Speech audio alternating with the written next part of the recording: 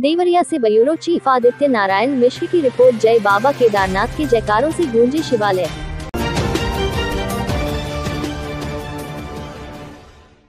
दिवाली के बाद गोवर्धन पूजा की सुबह उस वक्त शिव के जयकारों से गुंजायमान हो उठी, जब देश के प्रधानमंत्री श्री नरेंद्र मोदी ने उत्तराखंड की पावन धरती पर बाबा केदारनाथ धाम से जय बाबा केदारनाथ का उद्घोष किया।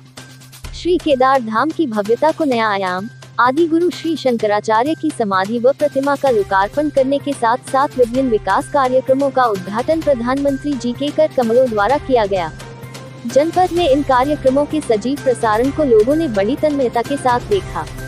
इस अवसर पर जनपद के छह शिवालयों में भव्यता के साथ कार्यक्रम आयोजित हुआ और शिवालयों पर प्रधानमंत्री जी के कार्यक्रम का सजीव प्रसारण किया गया।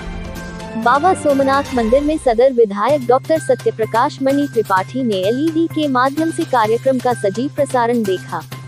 सदर विधायक ने कार्यक्रम के दौरान भजन कीर्तन कर रहे भक्तों की मंडली का उत्साहवर्धन किया और तदुपरांत मंदिर में पूजा अर्चना किया।